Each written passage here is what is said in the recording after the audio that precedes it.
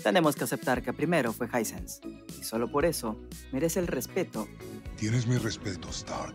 en el sector de la gama económica y amable con el bolsillo de las personas, pues siempre se han diferenciado por traerte tecnología a un coste modesto, claro, hasta que llegó Xiaomi. ¡Ay, qué miedo! ¡Yo me voy! Bienvenidos a una nueva edición de Así me fue, esta vez presentándote un versus que estoy seguro te dejará pensando, a pesar de ver de que uno de los dos parece ser superior. Más de uno pensamos en el bolsillo antes de comprar un artefacto decisivo, como lo es un televisor. Para mi experimento, compré ambos televisores para que el unboxing fuese el mismo día. De ese modo, ser imparcial con ambas marcas. Empezado, Woody.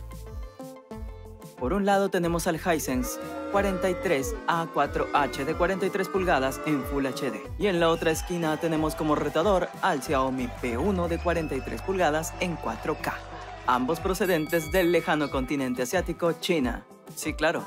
Y por si fuera poco, con un precio idéntico de 799 soles, unos 214 dólares o unos 3.578 pesos mexicanos. Hasta un ciego elegiría el Xiaomi, ¿verdad? Si es 4K, pues ¿para qué más? Tómelo. Pero, ey, ey, espera, no tan rápido. ¿Y si te digo que en este punto de la historia, quizá podría interesarte elegir el Hisense? Veámoslo de frente.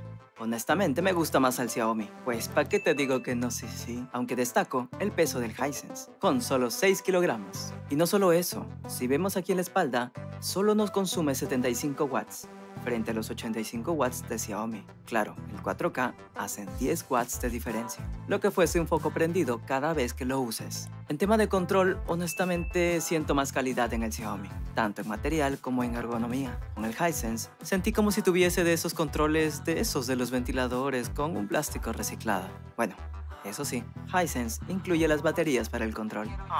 Tan lindos. El Xiaomi no. Bueno, y nos vamos con el primer encendido. Aquí intentaré prenderlo.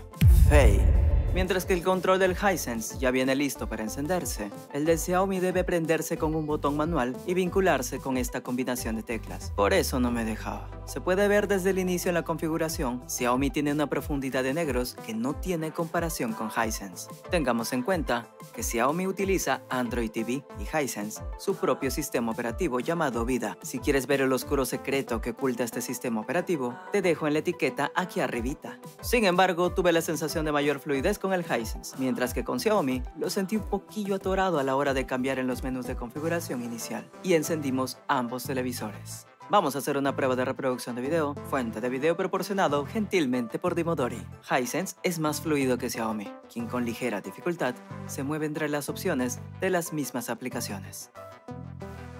Calidad de panel. A la hora de calidad en imagen, indiscutiblemente, Xiaomi es el vencedor. Podemos observar la definición de los negros, las líneas marcadas, un color más profundo.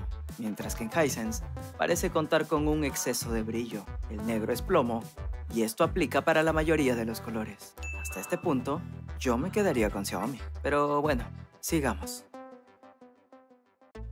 Velocidad. Es un punto notable, Hisense pasa por mucho la fluidez en su navegación. No se atora, no es de los sistemas más veloces, insisto, puede mejorar, pero no te da esa ansiedad para entrar y salir de las aplicaciones, incluso tras la reproducción de video. Mientras que Xiaomi sí se atora un poco en el manejo del Android TV. Tal parece que en este punto, el procesador y RAM le queda corto al Xiaomi, el cual usa un SoC MediaTek MT9611 con un CPU ARM Cortex A55 de 4 núcleos, frente al Hisense con un SoC MediaTek MT9602 CPU ARM Cortex A53 de 4 núcleos.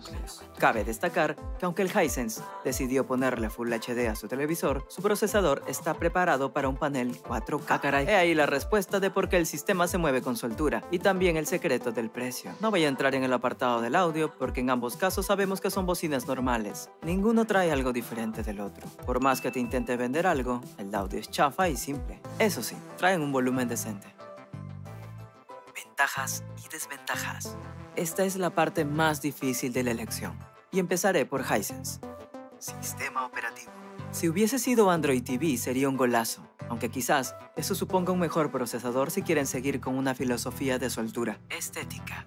En temas estéticos, no luce mal, pero siento que pudieron haber reducido el plástico en los bordes para darle ese toque de modernidad que vemos en las pantallas de alta gama. Navegación.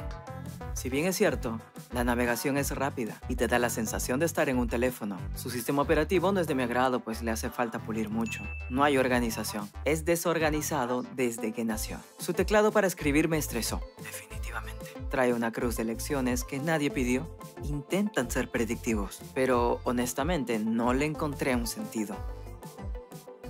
Día a día. Es un buen televisor. Si tus actividades se centran únicamente en una o dos aplicaciones todo el tiempo, por ejemplo el YouTube, y te importa muy poco ver todo lo demás que hay en el televisor. Si esa es tu actividad principal, este televisor es para ti. Te aseguro que tendrá una duración prolongada, ya que el procesador no está siendo forzado al 100% y su desgaste no será prematuro. Adicionales. Es un buen gesto que te traiga las pilas gratis. Si compras el televisor en la noche, no imagino la frustración de no poder operarlo por no tener las baterías en casa. Y ahora voy con el Xiaomi. ¿Qué? ¿Estás retándome? Sistema operativo. En este punto deseo ser imparcial con Xiaomi con ustedes. Debo aclarar que el hecho de que un televisor traiga Android TV no los hace mejores que otros.